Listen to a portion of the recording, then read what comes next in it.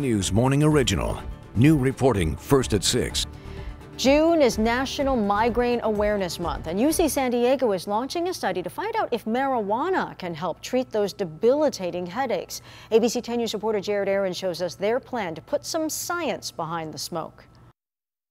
It's like the volume control on pain, and we'd like to turn it down to zero. And when you're having a migraine, it may go to 10. Dr. Jack Schim, the co director of the Headache Center of Southern California, says his migraine patients deal with an immense level of pain. We now know that is tied into the pain centers of the trigeminal nerve, the nerve of facial feeling and is basically a brain problem. The CDC says 15% of U.S. adults suffer from migraines. And while there are a number of FDA approved treatments, Dr. Schim says many patients ask him about medical marijuana.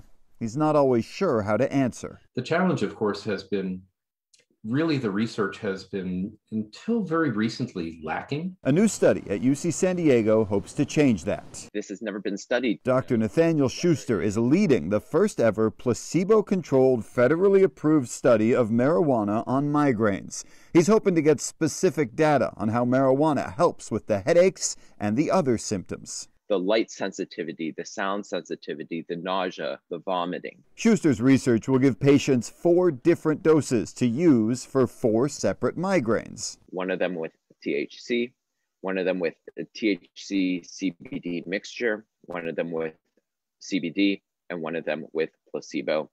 Um, and patients don't know which one's which. Patients will report their results through an app. It took years to get approval from the federal government. They're also supplying the drugs.